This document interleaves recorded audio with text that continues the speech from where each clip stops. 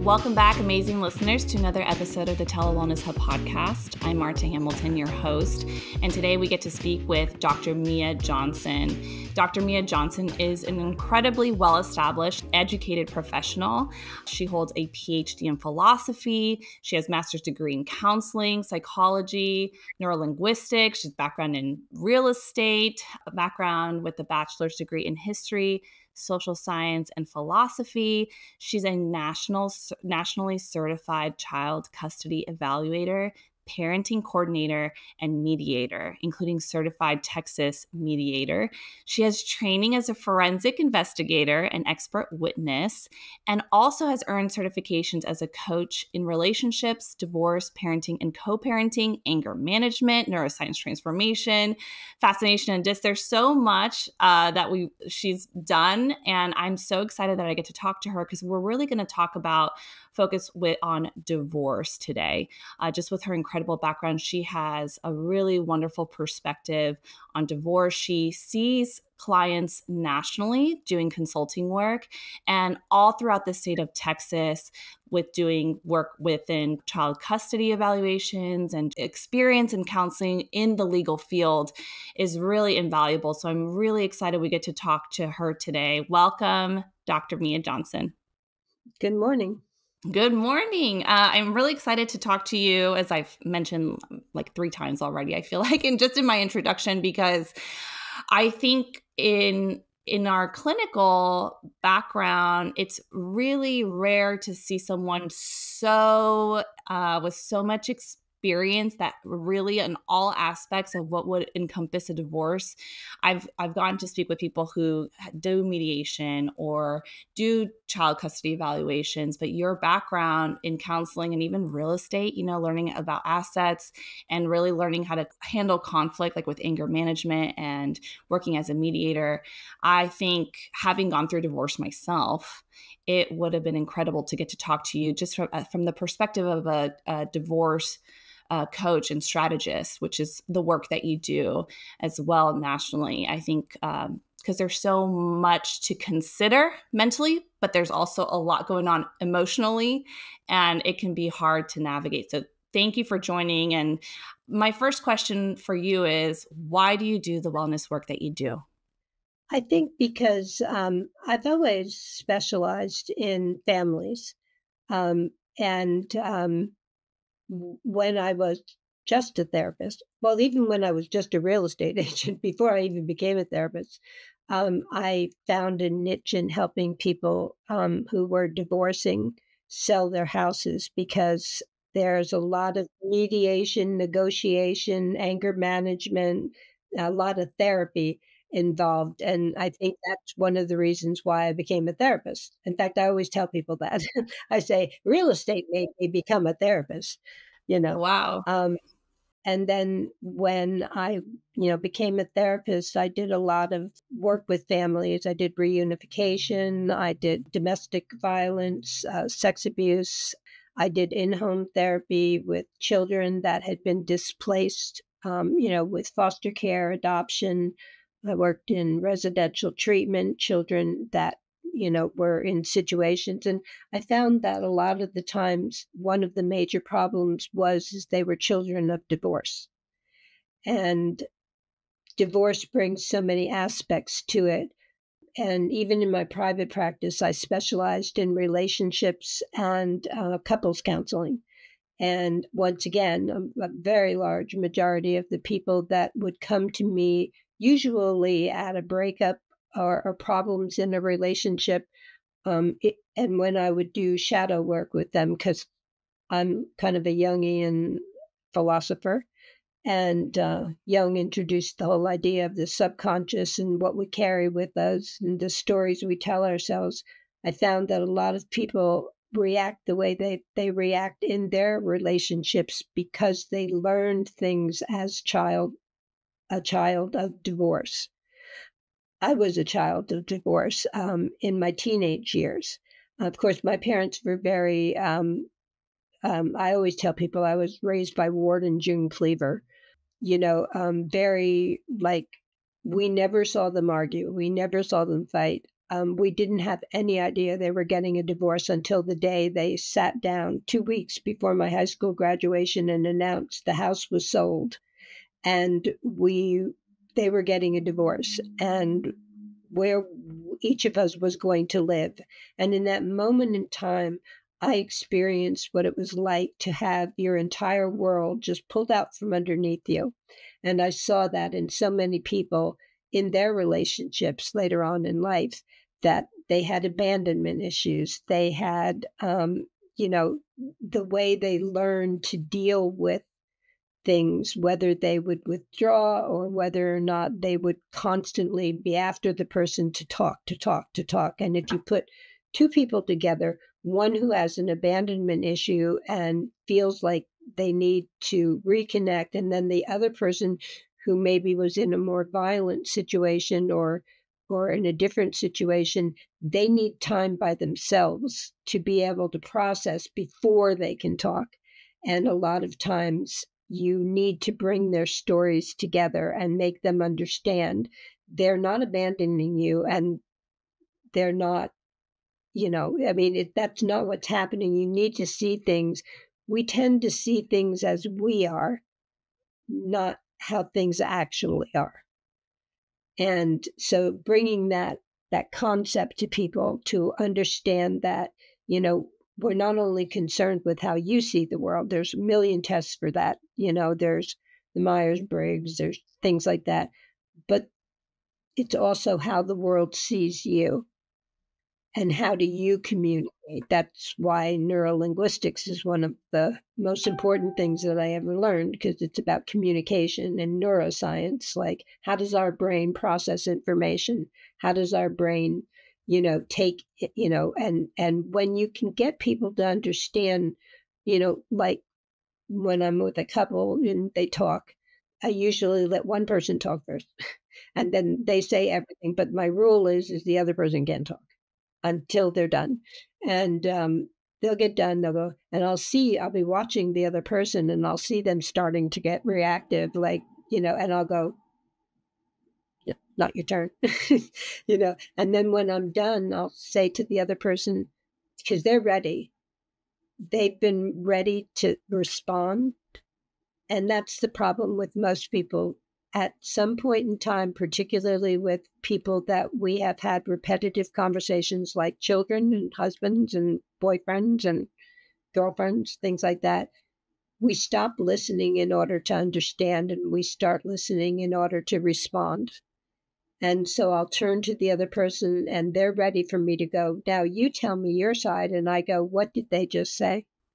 Mm, mm-hmm. And now they're struggling because they're going like, you know, like, oh, um, um, you know, and then they'll start saying what they think the other person said. The other person will start blowing up like a blowfish, and you'll go, you know, and when you're done, you know, you say, you turn to the first person, and you know, they go, oh, I didn't say that, and I'll go, but that's what they heard. And I think that's the most important thing to understand in a divorce is what you say and what you think you mean isn't exactly what everybody else is hearing. That's a really good point because I think there's so much communication and then uh, cut off communication that can happen in divorce, right? There's a lot of, of conflict leading up to it, perhaps. Um, and and it's interesting. Before we hit record, you know, you started sharing just about how divorce is really the first step, especially if there's children involved. It's just and the and the emotions that get involved, and um, well, I appreciate you sharing your background. Uh, that's something new that I, I learned. I know just as as connecting as colleagues, I've always really just admired your work, your passion for the work that you do, and hearing you share a little bit about your own history and and the why of of the work that you do. Just really committed to to the experience that other people have, knowing ex- exactly what it's like for when you experienced um, your parents' divorce, I brought a, a, whole new light to to the child custody evaluation work and other work that you do. I I wonder in your experience then you've seen kind of the breakdown in communication, you have that background in neurolinguistic programming, you've done child custody evaluations and you've seen in real estate even, you know, selling of the home and different logistics that come up. What what would you say are some of the most common misconceptions that people have about divorce proceedings specifically that you encounter in your practice? I think one of the one of the most important is that somebody has to win and somebody has to lose and it has to be a battle and it doesn't have to be. I'm a proponent of collaborative divorce and I believe that um, even before you, um, you know, like one of the first steps, of course, is to figure out how are you going to do it. And then the next most important step is the attorney that you choose because you want somebody who's experienced in divorce, in custody, in family law. Somebody that, you know, sometimes people say, well, I have an attorney. I've dealt with them for years. Really, have you been having a divorce every year? Mm, hmm And they'll go, well, no, but they handle like my business. Okay, well, that's not the attorney, you know. So right. That that might not be the attorney. I'm not saying that attorneys that do other things can't do, but family law is a specialty. Yeah, no, I like that you bring that up. Yes it, it is. It's a specialty, and you want somebody that is, um, again, collaborative law. Collaborative divorce is not as big in Texas as it is around the country, but it is so important because the average cost of a divorce starts at about $15,600. And that's if you don't have children. It bumps up to, and keep in mind, these are averages, okay? it bumps up to about 23.6 if you have children, and that's if nobody argues. Just the retainer for the attorney alone can be around $8,000 for each party. So you're already up to $16,000 right out of the gate. And right. it's a it's a retainer. It's not a payment, it's a retainer. That means it goes on the books, and every single time you contact your attorney, every time you call them, every time you send them an email, every time they have to go to court, there's a charge. You know, um, usually they charge you if you call their office, even if they're not there. You get charged a quarter of whatever their fee is for their paralegal or their receptionist to talk to you just to tell you they're not there you know um, and so when you spend your time talking to your attorney about um, who did who wrong and and what did they do that's the most expensive therapist you will ever find in your entire life and it's not what they're trained to do you know so it's important for you to deal with the more you can hand your attorney out, like I said in one of the things I wrote for you, you have to think of your attorney as the captain of the ship. They're the one who's going to steer you through the legalities. They know how to talk to the court in a language that the court understands. Attorneys don't handle just one person at a time.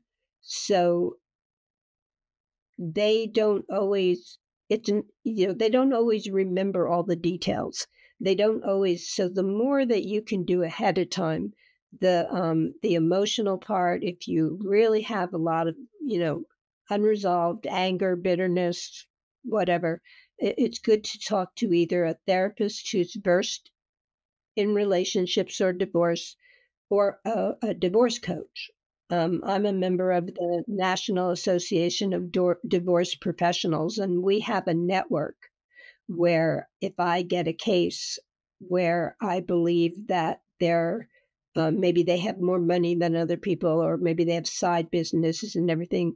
I will look. I will reach out to a financial analyst to do a financial autopsy, and having that done, they can then take what they find to their attorney, and financial analysts cost a lot less per hour than an attorney, you know.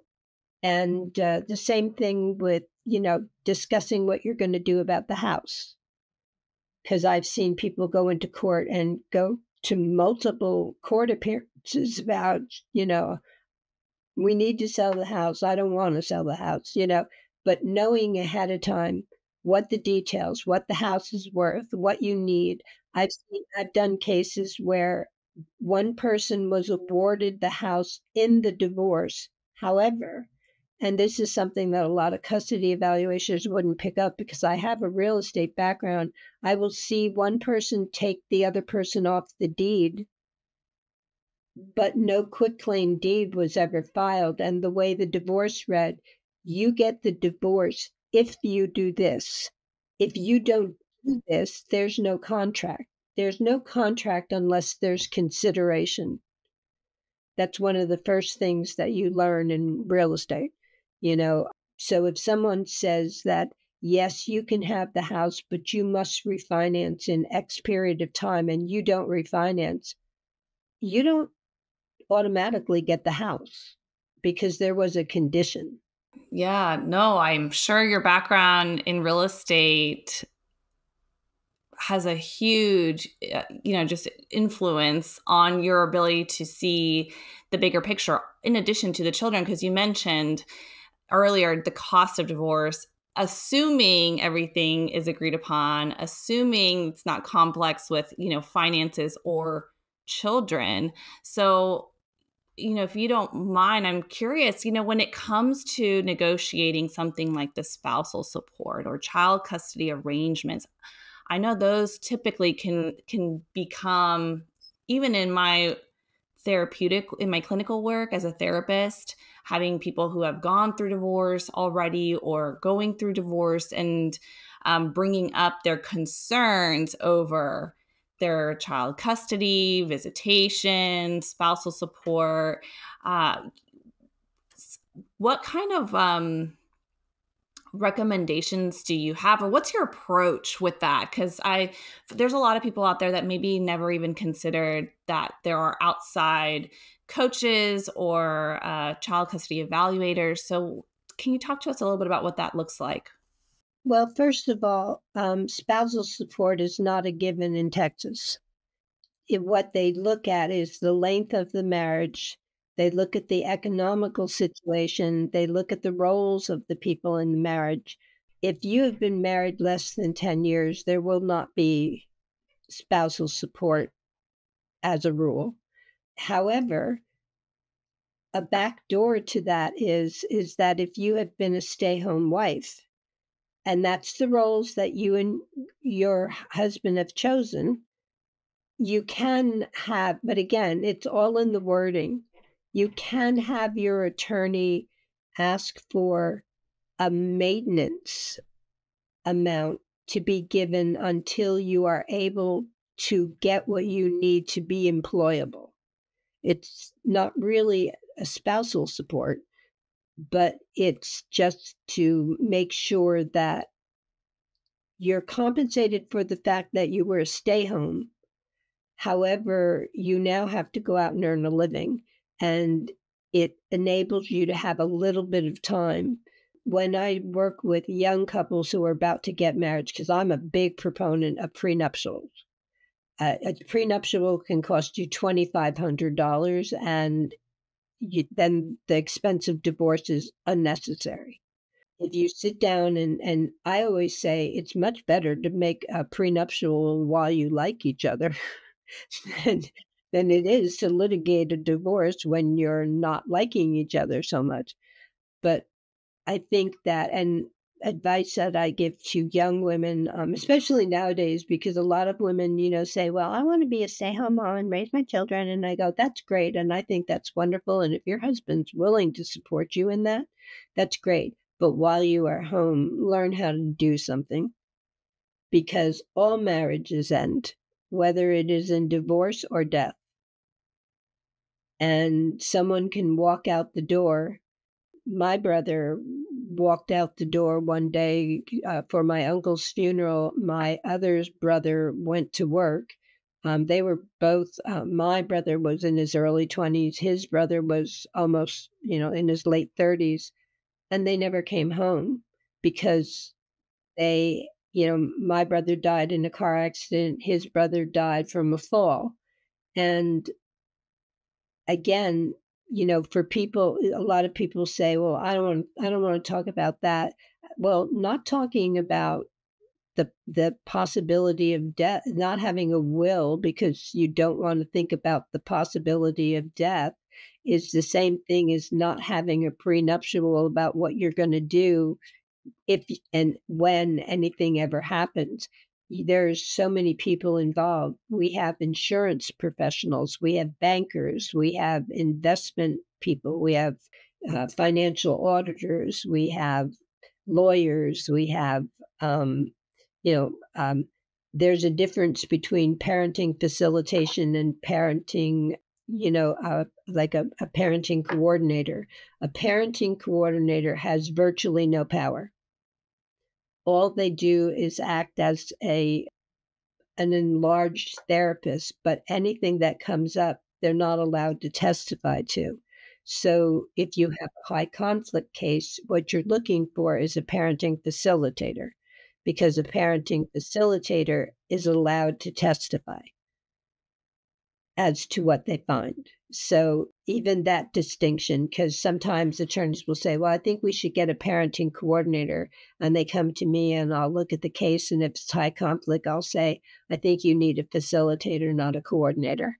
How do clients typically come to you? Would you say that it's through the attorney recommends that they go speak with you, or are you available for anyone who's saying, okay, I might be going through a divorce. I need to go talk to somebody. Because typically, you know, I'm learning so much in this conversation, not realizing how many people can be involved. Typically, you think just your mind goes to an attorney right but that's it's really clear to have the clear distinction that an attorney has their role as do other people have their unique roles as well um, so can someone come to someone like you first and kind of sift through a plan? I mean, what would be that initial step?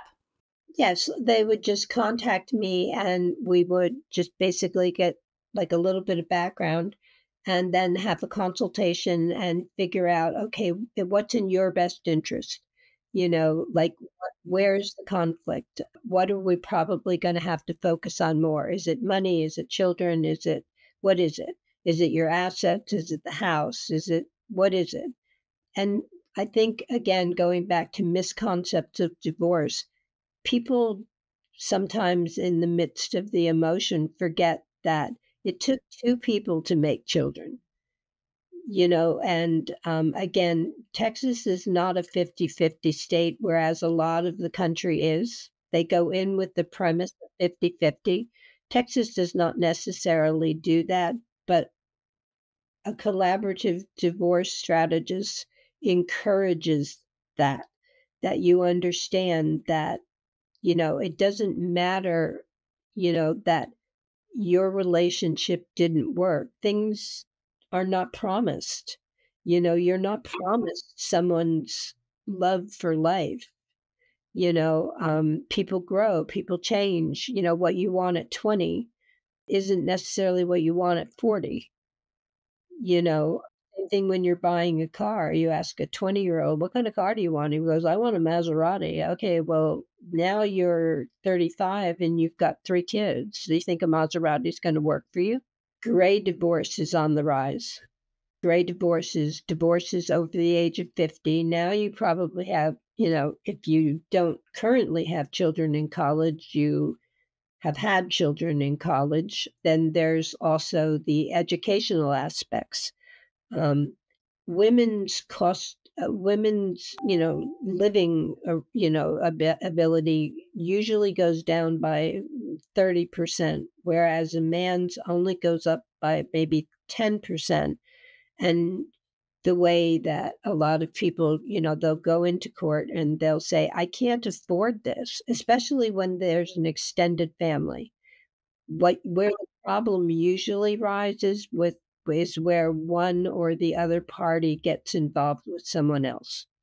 If they get seriously involved or if they get married, well, now they have another family they have an obligation to, and they have a new wife, girlfriend, whatever, husband, girl, boyfriend, whatever.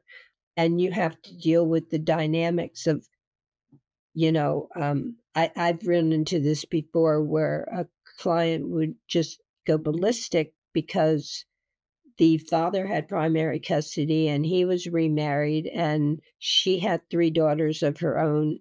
And so the seven year old hearing the other girls call the mother mom occasionally she would call her mom and the biological mother would go ballistic. You know and in, unfortunately involve the child. She's not your mom. You can't call her mom. I'm your mom and and everything and you know again that's something that you have to deal with you know you have to explain to them well they are their stepmother. Right that emotional aspect that you mentioned that sometimes the emotions cloud people's process and and when it comes to the children and and the dynamics. Well because they feel like they're being replaced. And they don't and and again i'm there's a lot of uh, people that you know come in as a um, as a second person involved, like the the new wife or the um, the um, girlfriend or whatever, and they think somehow that they can be involved. And you know, sometimes you have to sit down with them and go, "Look, you're you're not the baby mama." you know, you know, and so primarily these discussions need to be had between the baby daddy and the baby mama. You know, you're welcome to have your opinion, but your opinion should never be expressed to the baby mama. Talk about it all you want to the baby daddy. And him to decide how he wants to handle it.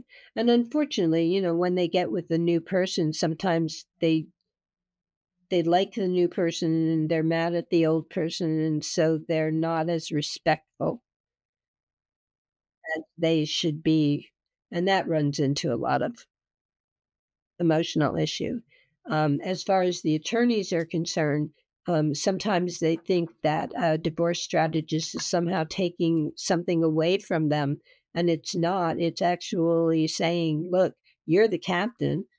I'm your first mate." You know, mm-hmm. I like that.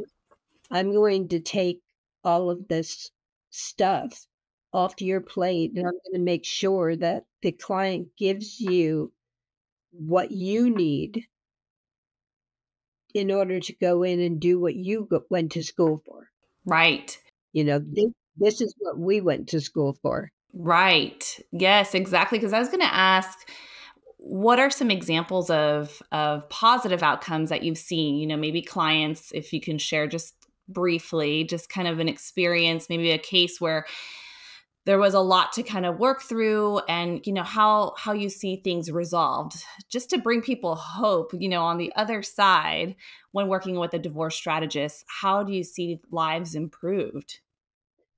I think it's combination of uh, you know i mean really all of my background you know goes into that particular process because i've i've been a therapist. I am a negotiator. I am a mediator and, you know, I'm, people often say, well, are you an optimist or are you a pessimist? I said, no, I'm a realist.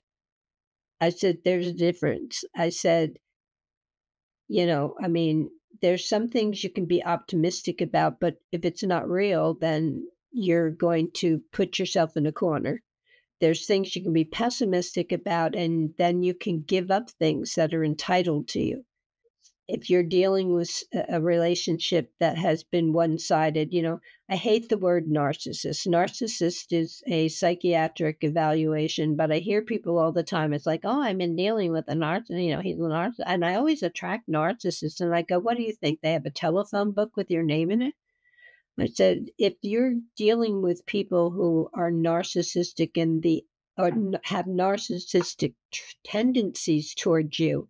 I said, it's because you're sending out some kind of message that, you know, because we teach people how to treat us. And that goes back even to the day that you start dating.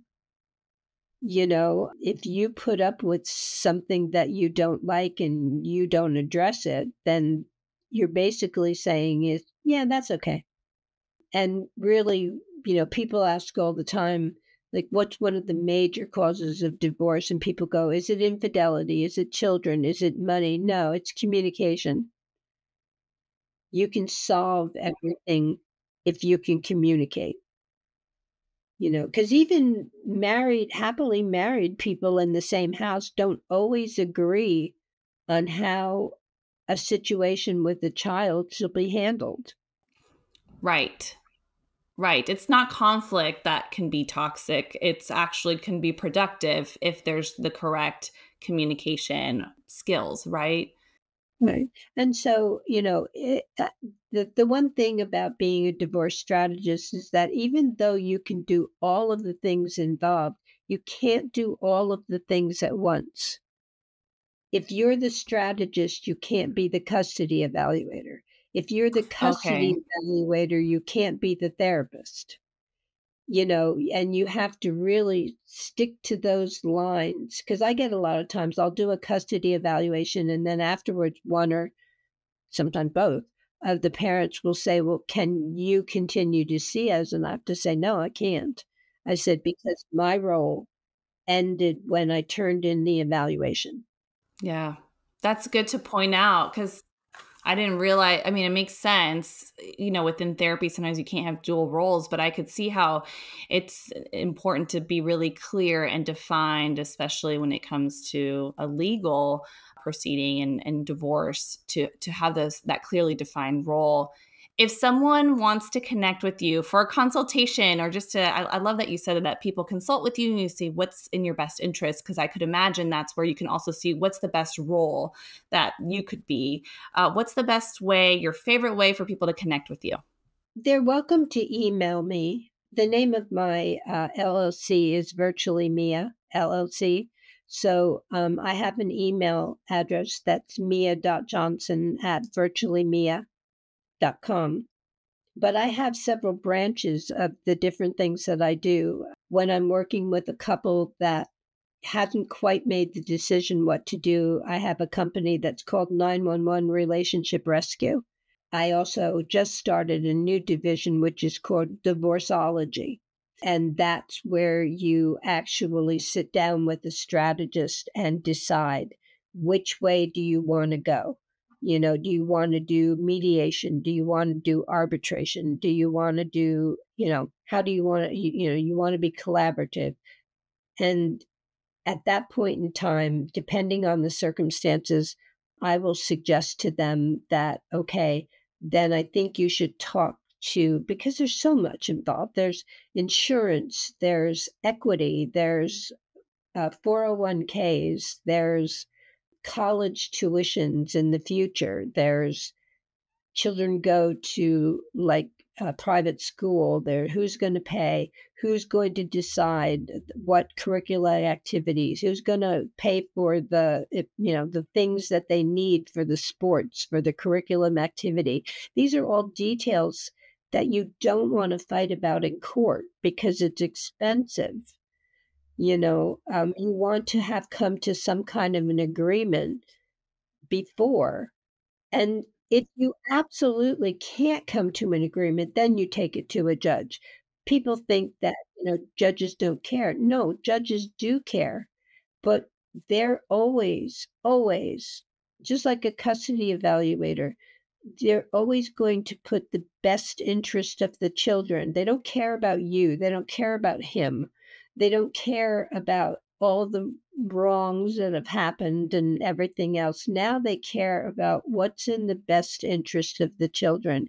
And children deserve to have a relationship with both parents unless there is a reason why one parent is not healthy for the child.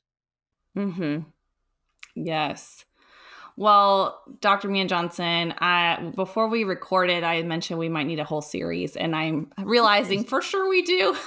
just from this conversation, we really do. Just on on a variety of topics, I might post a, a questionnaire uh, to see what people are interested in because things like uh, divorce and, and narcissism that you brought up, I think that that comes up a lot, um, and even just looking and diving in a little bit further into that aspect with the children, I think would be really wonderful. But Thank you so much for for joining us and being a part of our wellness.